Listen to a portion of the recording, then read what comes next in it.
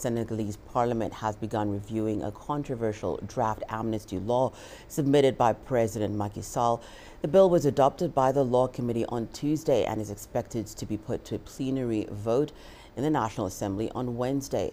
It's part of the president's response to recent protests over a decision to delay elections, a decision which was later overturned by a constitutional council.